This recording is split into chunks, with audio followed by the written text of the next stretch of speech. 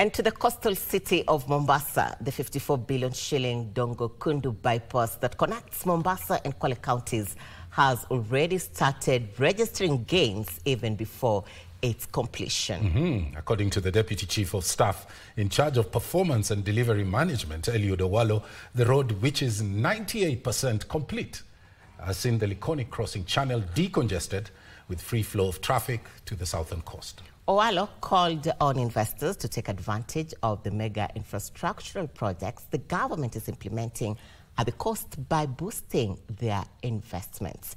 And Buru is on the coastal beats. Early morning, the entourage, led by the Deputy Chief of Staff, Owalo, began the tour of the projects in Mombasa County at the 1.5 billion shillings Liwatoni Fishing Complex, inspecting the project before heading to the 54 billion shillings Dongo Kundu bypass. It was at the Dongo Kundu bypass that Owalo noted that the Mombasa to Kwale bypass, which is 98% complete, has started registering some gains. To begin with, in terms of attendant benefits, is going to facilitate easier access from the mainland to the airport.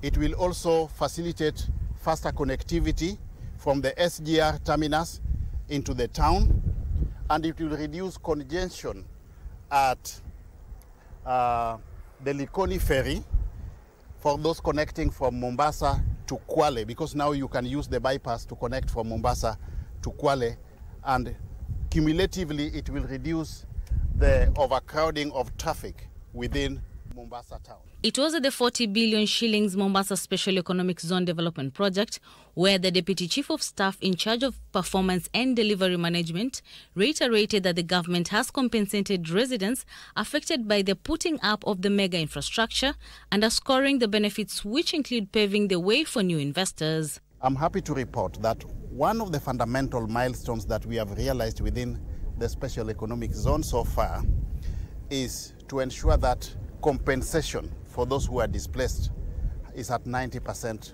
completion rate. The remaining 10% will be sorted out by KPA in the next one week. Yeah, there were certain small, small challenges which are not insurmountable. So all those payments should be settled within the next one week. The government has put incentives to attract more investors, promising them a conducive environment to do business. We have got tax rebates by way of income tax, corporate tax, and even excise tax.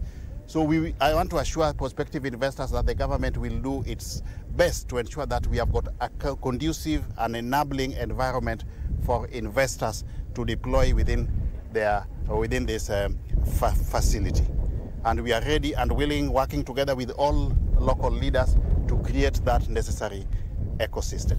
The entourage also visited Mombasa Southern Bypass Highway, the 7 billion shilling Nyali Affordable Housing Project, and the 25 billion shilling Mombasa Malindi Dual Carriageway. Owalo was accompanied by Gender and Affirmative Action Principal Secretary Anne Wangombe, Coast Regional Commissioner Rhoda Onyancha, Mombasa County Commissioner Mohamed Noor and Sherry Ariko, and Head of the Government Delivery Unit Lee Kyonze. The Deputy Chief of Staff will tomorrow hold a stakeholders engagement forum at the Kenya School of Government. For Prime Edition from Mombasa County, I am Anburu.